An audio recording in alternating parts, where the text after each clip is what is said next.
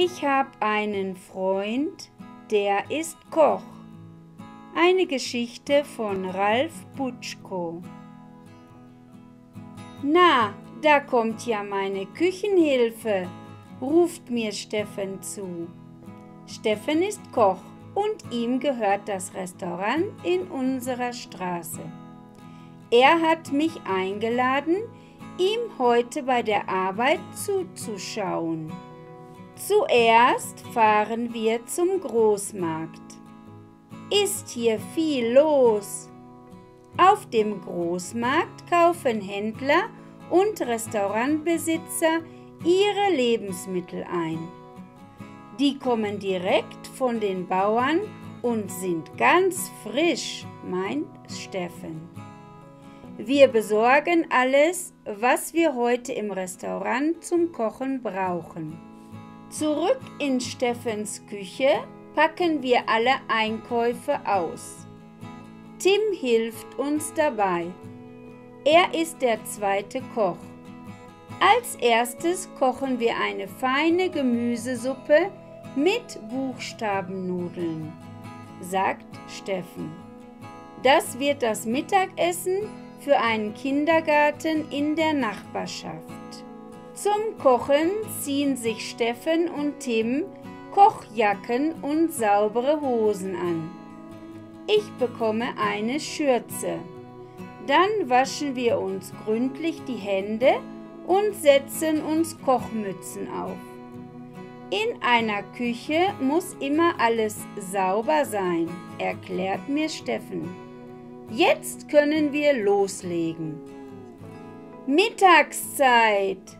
Steffen und ich bringen die fertige Suppe und einen frischen Obstsalat zum Kindergarten. In der Transportkiste bleibt das Essen lange warm. Hallo, Koch! rufen die Kinder. Sie freuen sich jeden Tag auf das leckere Essen. Während die Erzieherinnen Teller und Becher verteilen, waschen sich die Kinder die Hände. Erst wenn alle wieder am Tisch sitzen, wird gegessen. Und das geht ohne Schmatzen oder Rülpsen, erklären die Kinder.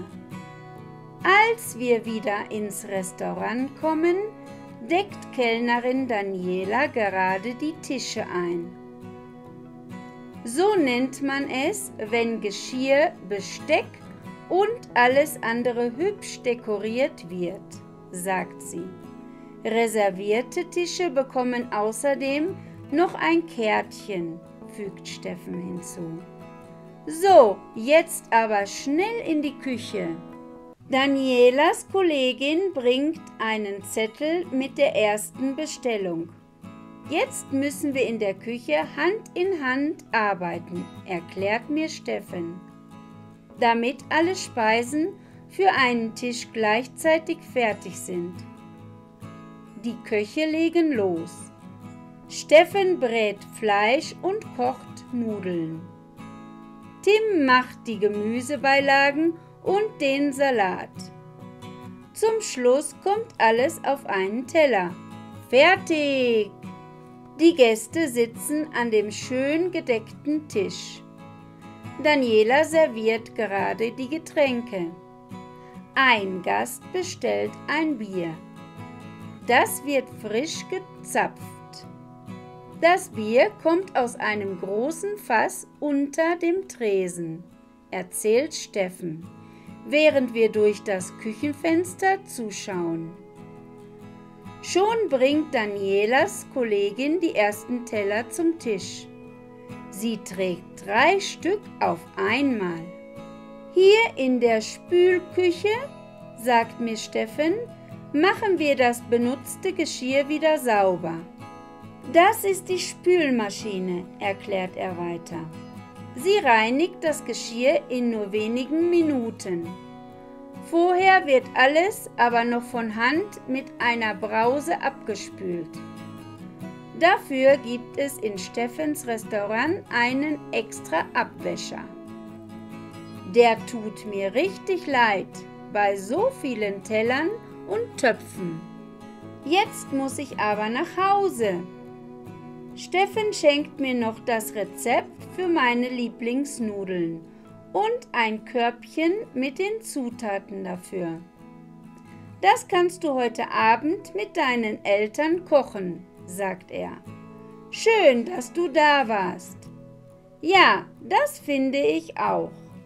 Außer einer Kochmütze brauche ich noch viele andere Dinge für meine Arbeit. Findest du sie alle im Buch?